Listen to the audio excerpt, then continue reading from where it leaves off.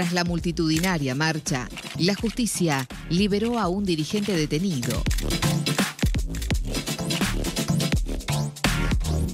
En medio de denuncias de persecución política, criminalización de la protesta y subordinación del Poder Judicial al Poder Ejecutivo, Jujuy volvió a ser escena de reclamos masivos que ganaron la calle.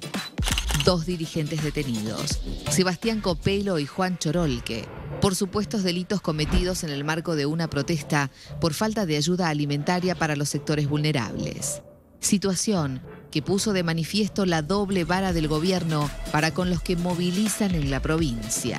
El proceder de la justicia, metiendo tras las rejas a dos personas por delitos excarcelables y sin la debida justificación, generó una fuerte preocupación por la falta de garantías en lo que a derechos constitucionales respecta. Referentes de organismos de derechos humanos a nivel nacional y hasta legisladores de otras provincias se presentaron en Jujuy para repudiar lo acontecido. Participar de una marcha no es un delito. Hay un derecho constitucional a la protesta, a la petición. Ahora bien, parecía que en Jujuy estos derechos constitucionales no están vigentes. Que el gobernador Morales tiene la posibilidad de ordenar a la justicia que haga lo que quiera. Y yo lo quiero decir claramente, en Buenos Aires lo vemos habitualmente al gobernador Morales pavonearse por los medios de comunicación. El otro día hubo un programa con Viviana Canosa, una periodista conocida, y él ahí fue a sacar pecho diciendo nosotros encarcelamos y hacemos esto aquello. La justicia en Jujuy en cualquier momento va a meter presos porque nosotros hicimos una demanda a estos intermediarios que toman asistencia. Asumió la titularidad, la autoría de las detenciones. Después la justicia se da su brazo ejecutor, pero el que decide es Morales. El descontento social fue tal que la justicia terminó liberando tras seis días a uno de los dirigentes, Sebastián Copelo, quien denunció que todo se trató de una estrategia para disciplinar. Eh, entraron bruscamente a mi casa, eh, investigaron todo el domicilio cuando el allanamiento no dice eso, el allanamiento solo decía secuestro del celular y detención de, la persona que, tiene un nombre homónimo al mío, pero eh, revisaron toda mi casa, agarraron, revisaron papeles, es decir, invadieron mi, privacidad. Eso ya fue el primer punto. Y después, las primeras 24 horas, hubo una incomunicación total. Yo hasta las 24 horas siguientes no hablé con mi abogada, ni tampoco pude ni siquiera ingerir alimentos. Es decir, por 24 horas estuve eh, sin comer, lo mismo Juan. Eh, bueno, mostrando también que era un aleccionamiento que querían hacer contra nosotros el referente del polo obrero reparó en una cuestión no menor, que el propio gobernador parecía conocer el expediente judicial mejor que el fiscal a cargo.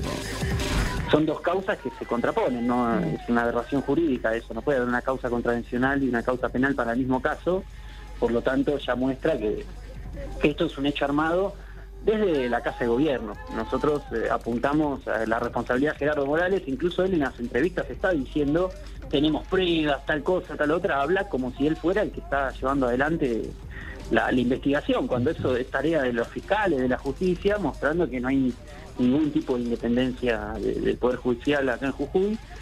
El hecho puntual al que hace referencia Copelo es una entrevista reciente del mandatario Gerardo Morales al programa radial de la periodista Nancy Pasos. Pero hay por lo menos cuatro o cinco delitos que, que cometen pero además le quitan tres mil pesos. Tenemos audios, tenemos ya testimonios de beneficiarios que no quieren. Ahí se habla de, presos políticos. Si son, si le cobran a la gente. Tenemos los testimonios este, de las personas. ¿Por qué se quedan con mil o con tres mil pesos de, las personas? Si el plan es de las personas. Estos dichos del gobernador también inquietaron a la abogada del dirigente, la cual se mostró desconcertada con el proceder de la investigación. Bueno, yo tengo, hasta donde a mí me consta, este, no tenemos ese tipo de pruebas, eh, lo, cual tampoco se le puede, o sea, no se puede ocultar pruebas a, esta, a la defensa.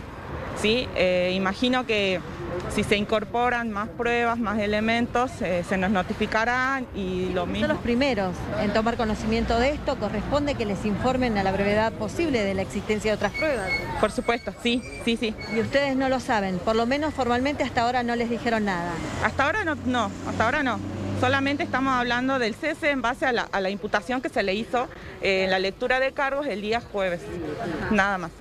La fachada de la paz social parece perder fuerza en Jujuy, mientras los reclamos sociales se multiplican al punto tal de que el propio gobernador termina volviendo sobre sus palabras para admitir que en la provincia hay entre dos y tres protestas diarias. Eh, vos lo resolvés más fácil, me parece, porque tengo entendido que ya hay dos dirigentes sociales presos en eh, Jujuy por, por manifestarse. No, se manifiestan todos los días en Jujuy. Hay dos o tres marchas eh, por día en Jujuy. Lo que no pueden es cortar rutas. Y lo que no se puede es ocupar la, y romper la plaza. Eso es lo que... Eh, cortar rutas es un delito. Piquetero, carajo, piquetero, carajo, piquetero.